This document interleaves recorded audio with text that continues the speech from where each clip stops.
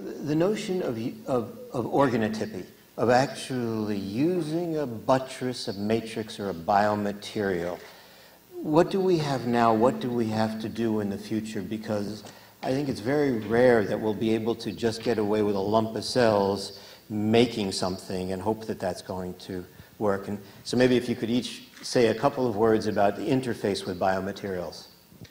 Um, so we've been using biomaterials for a long time now, and obviously the material we've placed into the patients, um, it's non-biodegradable, so it's a permanent. There were a number of reasons for that. One was the regulatory issue. Um, it was simpler if you use um, biodegradable, etc. But I think one thing we've learned from these two patients is the delivery of those cells in a way in which they need to replace uh, a component or be functional as soon as they go in, because they're very mature on that patch, um, really does enable the possibility of delivering cells in the right form with the ability to function. So I think the combination is going to become more and more apparent as more of these therapies come to uh, trial. Yeah, Rich? So for the heart, I think uh, you would think that you'd need something like this because the heart has so much organization and structure. Um, but on the other hand, when heart cells divide, it looks like one cell sits here and the other sister cell goes way off to, to another part of the heart. So it's a pretty dynamic environment. And so I'm not sure if we'll need that. Uh, obviously, it's a place where we can couple things together with bioengineering, though, and make, make the transplant process better. But what about conduction system? well, reconstituting the conduction system is going to be hard. Most of the heart works together as a syncytium. So if you can get cells to form the right connections in the right period of time, then you actually probably don't need to worry about that. Okay. Yeah, there are some matrices already available that they're using for uh, bridging defects in Achilles tears or rotator cuff tears. Um, they're non-cellular, but they some of the studies have reported that cells integrate into the tissue. Um, but there still are some limitations with these types of approaches. Um, and the ACL is the best example. They'll, they'll either use a, an allograft or autograft, uh, but usually someone who has an ACL tear is set up for osteoarthritis, usually in the next 15 years. And this is thought to happen because you're not, the, the, the ability of the knee to function and stabilize the movement is not functioning how it used to be. So I think there definitely is a function for the matrix, but I think the cells the combination of the two will, will probably make a more perfect tissue that's more similar to what In your case, development created. You, don't you also need to deal with forces and stretch? Exactly. And your cells don't always develop normally without that. Yeah, no, they definitely need it for proper maturation, both developmentally and in, you know, adult patients that either have some sort of immobilization, the tendon tissue will also degenerate. So in some of the uh, sort of uh, was it physical therapy, I think is a good example of this, is some of the uh, things that patients have to do is either passive motion or active motion to kind of stimulate the cells and the tissue itself. So I think a combination, but also it, it begs an interesting biological question that could you pharmacologically figure out what that mechanical motion is doing and maybe find a chemical that simulates it. And sell it through marathon sports. Yeah. yeah. Right. That would go well, yeah. David, what do you think? Anything? Well, right. So the, the blood tends to be a fairly autonomous system, except that um, there are cautionary tales about disordered activity of the stroma can lead to malignant outcomes. And the, the information provided by the stroma is also something that could be used to accelerate recovery and improve particular outcomes. So I think um, there are ways in which we can use it as a model to understand the signals needed that can be boosted pharmacologically, and also the ones to be cautious of because they might result in the dark side. But you're a, a niche guy, so yeah. I mean, can can you imagine that actually you could do better? So maybe you don't have to deplete everybody's bone marrow first, and you could put in a, a nouveau niche. Right, or or that you you know there are multiple niches and they pair up with particular subsets of cells. So depending on what cell population you want to tweak in particular, uh-huh. you may be able to go out after its niche partner and drive it selectively. That's exploring. And Kevin, the brain, one of the most complicated, or you could argue the most complicated organ in our body, one that we still struggle to understand the structure and function of to this day.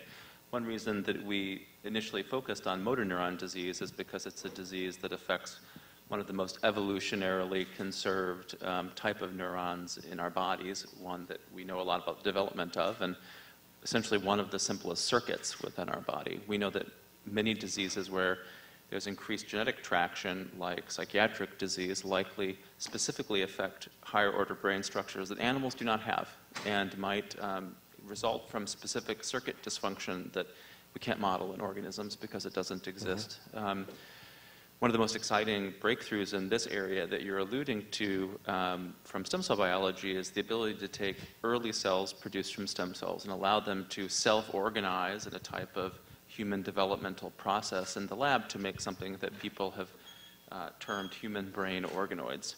These structures, which can grow now um, in some people's labs for years at a time, take on astonishingly complex structures which resemble the early human brain. Right. And um, these promise the opportunity to potentially allow some of these circuits to develop on their own for study. We don't yet know to what extent having a genotype that will predispose to schizophrenia will cause this circuitry to be abnormal. Um, it's a very exciting area. It's a new area. It's one that raises many different types of ethical questions that haven't been encountered before, but it's quite exciting. Thanks. Anyone in the audience like to jump in? We can, if you get a question from the audience, if you would repeat it also because it may be hard to hear. So, yes. Sure. Hi, David Gilmore from Blight Capital. Professor Scadden, you mentioned that uh, establishing safety is uh, a limiting step in bringing some of these therapies to patients. Uh, it would seem to me, as a non-medical person, that the there's a bit of a paradigm mismatch between the way we regulate uh, today and what regenerative medicine is all about. And we need some very, very different way of uh, trying to work with establishing uh, safety for these therapies. Is anybody working on this, and is there any hope? That's a great question. I think actually, Pete, you've encountered all of the regulatory headaches of going through this. But I, I will say, uh, from my experience in the U.S., I found the FDA is also, is feeling the need and uh, the interest in, in getting it right and interacting with academia to try to identify ways in which they can make this something that is a fairly rational process. It, will never be easy. But certainly, um, gauging risk with the in vitro systems that we have is so imperfect that we're really, unfortunately, going to depend on the human experiment. Pete, you want to say what you've gone through? Yeah, I'd say that um, actually in the UK it was very much a surprise to the regulator when we actually had our first meeting. They did not expect um, anyone with a cell therapy to be going to them in 2009. Um, so I think what has majorly occurred following that, and definitely within the US, has been an education for the regulators themselves. So they have gone through a process of open meetings, open discussions, groups of scientists to try and understand effectively what the FDA is majorly concerned about, which is safety. So they have educated themselves, I would say, very well now they have already given clinical approval for a number of cell therapies as well. So they understand some of the limiting processes, some of the issues which they will need to track as well following the um, uh, approval of those trials. So I would say it's less of an issue in that they now understand that a cell is not a pharmaceutical um, and therefore needs to be considered in a very different way. Um, and they are prepared to open discussions very early with uh, businesses, academics, to uh, have a debate on whatever type of therapy that you're wishing to approach them to get approval. Yeah, it's interesting also how the FDA responds if you're a pharmaceutical company or you're a biotech company. If you're a pharmaceutical company, you tend to be held to the same standards, quality standards, as for drugs. They're actually more intrigued uh, by the uh, biotechnology companies. In my, this is uh, unsponsored, just you know, I, I, can't really defend that completely, but I can defend it pretty well. Uh, one, two is I actually am a little bit sympathetic to them. I think there is as a lot of garbage out there now. I think there's many dangerous experiments, as Rich was alluding to, for example, in the heart field, where we've both been in position of showing that a lot of data are not reproducible. And I think there is, the, the, the fundamental scientists have sometimes jumped ahead, especially in the so-called mesenchymal stem cell field. My own personal bias is that there's a lot of, uh, to be generous, borderline work. And so I think the FDA is in a genuinely uh, tricky position. The third thing is that what the FDA is best at regulating is what we call CMC, the quality control, and how are the cells? Are the cells from uh, hospital A the same as hospital B? How identical are they? Can you ship them? Do they kept in the free? That kind of stuff they do very well. So if you can figure out that kind of a, that kind of a, uh, uh, uh those elements of the safety, you're in pretty good shape. I'm personally more worried about the very fundamental work that goes into it because I'm afraid, I don't know how you guys feel about this, that if a lot of bad experiments go on, that they will close us down in the future. And I think it's, it's incumbent upon all, all of us to go in with a lot of fundamental work that strongly suggests that what we're saying is true.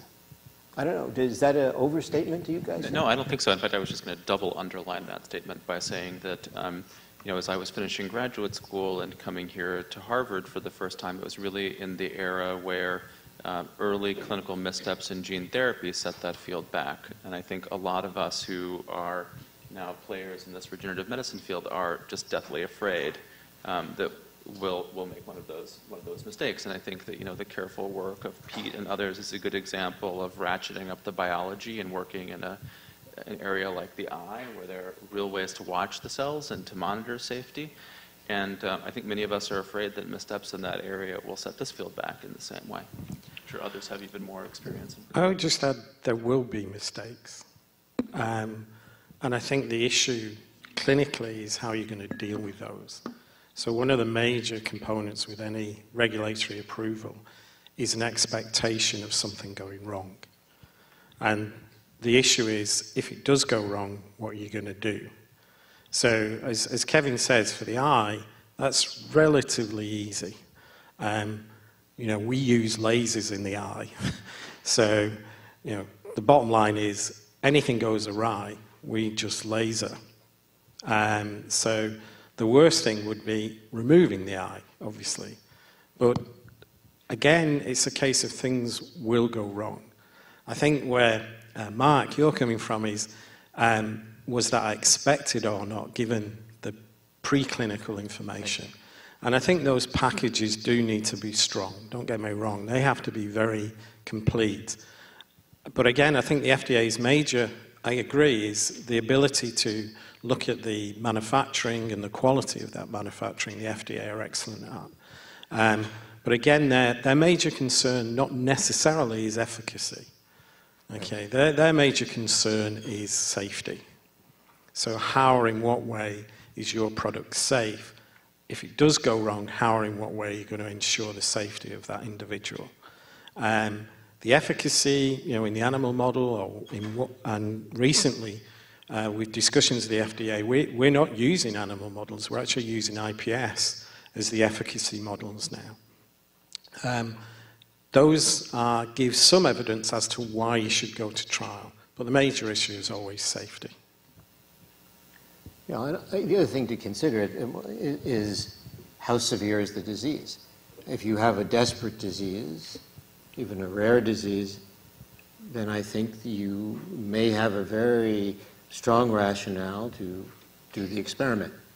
Uh, and that's where I think you have to be careful. But I have some skepticism about the athletes going and getting uh, joints injected. I don't know how you, Jenna, how you feel. Yeah, no, I mean it's it's an exper, right now it's considered by the wider orthopedic community as an experimental therapy, but part of the problem comes in because they don't manipulate the cells, so they're taking bone marrow aspirates or aspirates from a stromal fraction from fat not manipulating it and then injecting it back in, into the patient. And this doesn't actually require any oversight by the FDA.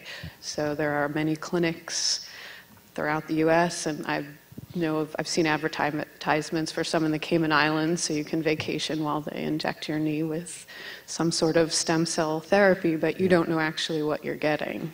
Yeah. And some cases, you know, there's situational or you know patients will testify that it, it makes things better but when you actually look at the studies they're not particularly well controlled. Um, there are some clinical trials ongoing but for the most part there are risks associated with these procedures such as ectopic bone ectopic cartilage in a joint which can actually cause even more damage or patients getting uh, even increased inflammation at the site. So I think the, again, the science behind it needs to be better Definitely fleshed have out. To be confident. Yeah, stem cells on the beach. Doug, you had, a, and then. And then. I'm all for caution, but I wanted to ask a question in the other direction.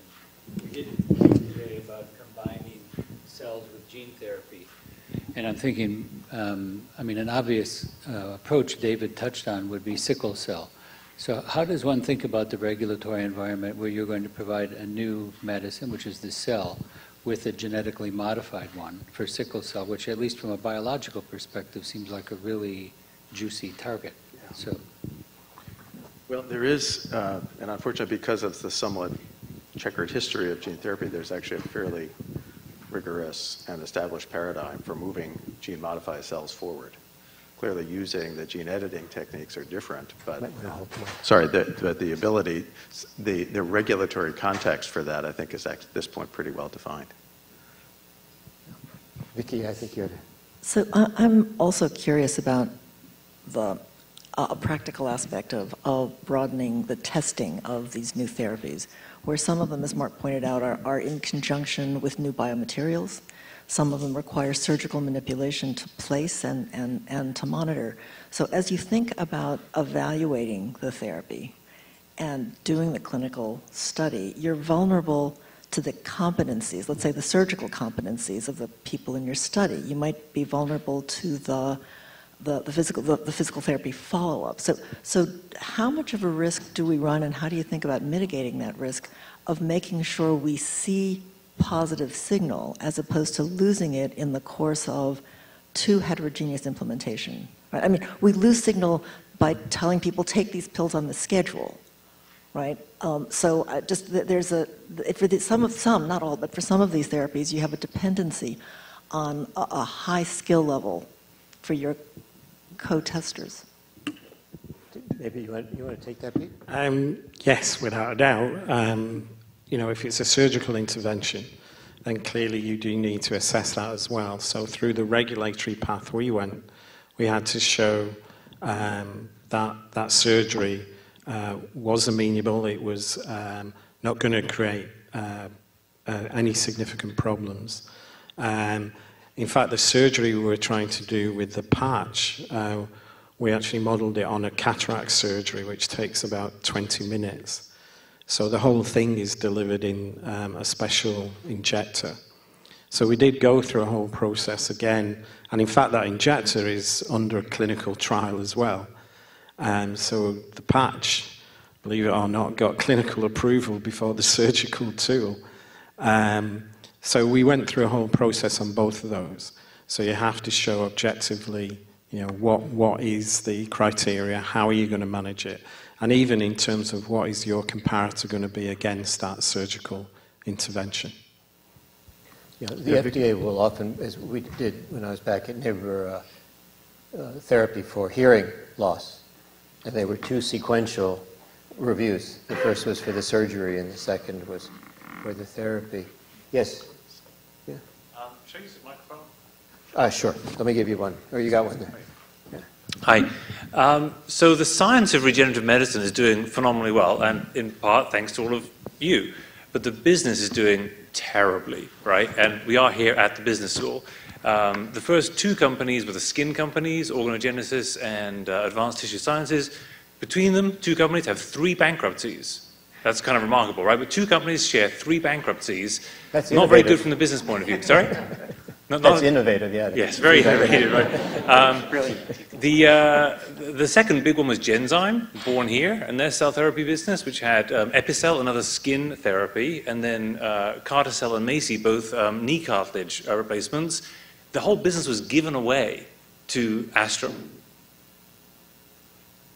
I think we'll count that as a bankruptcy, okay? When you give away a business that you've invested probably $200 million in, it's not a good uh, solution for patients in the end. And the final one is Tengion, Tony Ta- Atala's groundbreaking technology for bladder recreation and surgery at Wake Forest. They raised $230 million and went bankrupt. So the first four are all strikeouts. I'm just curious, what as the current generation, the next generation of leading scientists in the field, what lessons have you taken from these business failures? Because if the business fails, no patients get treated. It doesn't matter how good the science is. If the business fails, no patients get treated. And if we want to treat patients, we've got to make the business a success. So I'm just curious, what lessons have you guys all taken, you girls, guys and girls, I'm sorry, taken from these early failures on the business side to help ensure that patients do get treated from the, the terrific science you're all doing these days? It's a great question, and I think one that probably everyone would like a crack at. You want to just go down the line, Kevin? You want to Yeah, start? sure. I mean, I, I can give you my answer in the context of um, trying to use these types of cells as new models for disease and drug discovery. And um, there we tried, in the context of Q state, to take a crawl, walk, um, and then run sort of strategy. So we weren't really sure how ready the interface between new tools in electrophysiology from Adam's lab and the types of cells we were making in my lab would be for commercial use. So we decided to do was to start a small company, um, really founded with only $100,000, and then go out and try to do small contract research with pharma companies to see if it might be. To not take in a bunch of investment, um, to retain control of the platform so that we could really understand what it could and could not do, and then to grow it through those direct revenues. Once we had some sense of what it could do, we could go into a walk phase where we actually entered into agreements around drug discovery with pharma partners where everyone could benefit in that development. And then we hope the run looks like some of the things I was describing there now that we know what works and what doesn't work. And so maybe some of these first efforts kind of suffered from a little bit of overexuberance and a lack of practical experience of what was really commercially possible at that time. Mm-hmm. So I think, you know, in the blood, we have the distinct advantage that we know it works.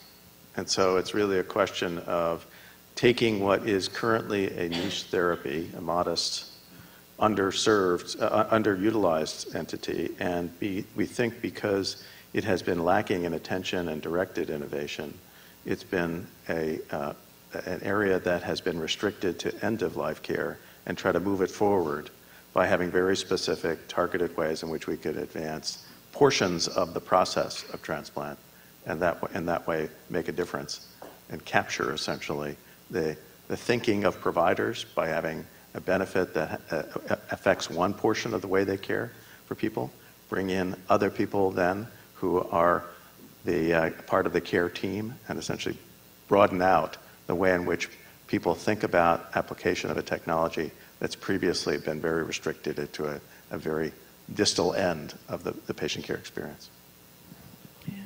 I, I would probably, for particularly the orthopedic field, you, I, the way I'm thinking about it and the approach I'm taking is probably similar to Kevin's in that you are not necess- you're using the cells that you're making in a dish for drug screening strategies because if you're going to engineer a tissue for someone, that's not necessarily a very cost-effective way or a good business model at this current point in time in terms of how long it'll take to grow the tissue.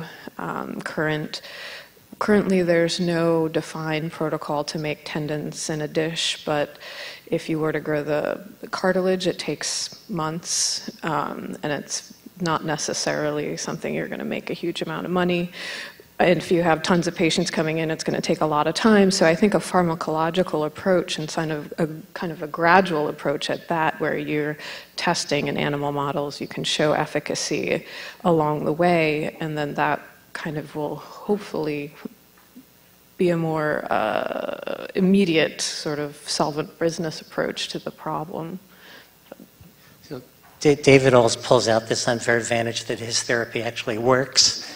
Um, and uh, for the heart field, the problem's been that a lot of the efforts have been based upon um, basic work that has primarily occurred in one lab or one lab and their friends. And it hasn't been that kind of advance that all of us say, hey, we tried this and wow, that really does work. And, and, and we're all looking for that in the heart failure field. So again, it's clinical outcome. Does it work? I mean, a good example in the eye is there were two possible therapies for wet AMD. One was Macugen, one was Lucentis. Both actually stopped the bleeds, but only Lucentis improved vision and became a billion dollar market for Novartis. So um, its clinical outcome is going to be the first. The second is clinical ability to deliver that. So as you saw from my presentation, the ability to um, put that patch in the back of the eye is going to be a vitreoretinal surgeon. But we're doing it in a way which is going to be similar to cataracts, which means it'll only be a 45 minute um, outpatient procedure. So, believe it or not, 70% of those patients who have that operation would have it awake. So, and then the third thing is, is reimbursement. Now, in the UK, we've already had discussions with um, the various authorities which are now open to the possibilities that these types of therapies would be fast tracked. So even by phase three, we, you could be reimbursed for the, for the um, therapeutic. And then finally, it was an issue which um, Mark brought up, which is there are 700,000 um, patients in the UK, there's about 400,000 in California, which suffer from AMD. That's a lot of patches to produce. So again, we've taken an early punt, an early stage punt, to work with both a Japanese company and a German company to actually automate it. So they're already working on a machine that can produce, a single machine can produce something like 80,000 patches. And that machine could be based anywhere. So I think actually having all those on the go is important to make sure that it is a therapeutic that can be delivered and it's efficacious. I would argue, very simply, you invested in the wrong stuff. That if you really looked at the science, you, you know, not you, but the investors would have known it wasn't ready for prime time. And that's what I was, the point I was making before. Today it is. I believe very strongly that this will be, and has to be, the next wave of therapy, given the number of people who are aging. That the demand will be fantastic. But you have to go in to populations of patients where you can do a trial where you actually believe the fundamental science speaks to definitively to the therapy, and it has to be believable. And I personally think, just as there was in the early days of genomics, there was too much hype and uh, in the early days. But today, I would it be like not investing when the first monoclonals uh, were having a problem. Either there are defined areas where we know the problems that were outlined very clearly, where we know the efficacy. Those areas, even if they're small and defined, especially if they're small and defined, those will be very powerful. And keep your, you know, timeline's going to be a decade. It's not going to be a turn, turnaround of uh, uh, tomorrow. I mean, I think within five years you'll know about the eye. You may know about diabetes sooner. You certainly, we already have ways of expanding hematopoietic stem cells. CART therapy works for cancer very, very well. Uh, there are, so we know that there are therapies, cell therapies out there that work. So I, I would not be discouraged. I would say it's great that they failed in the past, but now's the time to get in, involved. There were a question? Yes. So failures are cost of goods and other things on the commercial side. We know there are things that work clinically. The challenge is how do we make them commercially uh, viable from a cost, from a distribution standpoint, and from other some other things around um, making sure that everyone who delivers them has a high skill set. But we solved that when we did medical devices, right? There's a kit and it goes and people get trained. So on cost of goods, there's fully enclosed automated boxes now for GMP that presumably we can just drop every place we want to do things that are um, small scale. Uh, so we get the quality assurance, we get the cost down to something that's actually affordable, so companies aren't going to go out of business. And then just talking about business model, which would be a really interesting case study for someone from the Harvard Business School to work on. Um, we know that companies, a lot of success is due to business model innovation, not technology innovation. So I think uh, this industry in particular is ripe for something, something around that. Um, so Barbara Nelson, Nelson Biomedical, thank you. Are there questions or comments? Yes. Yeah, my name's Peter Wirth. I was at Genzyme for a long time and uh, uh, was the outside general counsel for Biosurface Technology, which originated Epicel. I think it's a little premature to say that this is not working. Uh, I had lunch yesterday with the general counsel of Vericel, which is the company that picked up the two products. They're doing about 50 million in revenues. Uh, they're close to break even. Uh, they are in front of the FDA with a new version of uh, Carticel called MACI, which is uh, supposed to um, improve the procedure. Uh, I think you know we've we've learned a lot about these technologies, uh, but I think the reality is we're working in very complicated biological systems, and the the, the efficacy or the impact that cells make on the body is pretty marginal. And we're putting them in, in situations where uh, there are fundamental biological processes that are not working very well. And so you get a, a modest effect from the cell trying to overcome a seriously broken biological process. And it's not a, it's not a big surprise that it's taken a long time. But I think it's a little premature to just say, you know, it isn't working, we ought to pass and move on.